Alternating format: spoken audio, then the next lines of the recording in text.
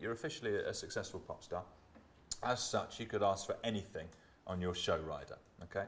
However, the only two things you request are a personal masseur and a battered sausage from a chip shop. Swag or blag? Blag? Really? What'd you ask for? Well, I didn't ask for nothing. Nothing?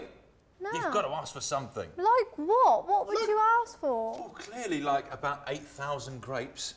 Just get loads of grapes. What, get someone to count them out? Get- yes, a 8,000, go. If- exactly. If, there's one more than 8,000, I will go mad. Kicking off. Yes.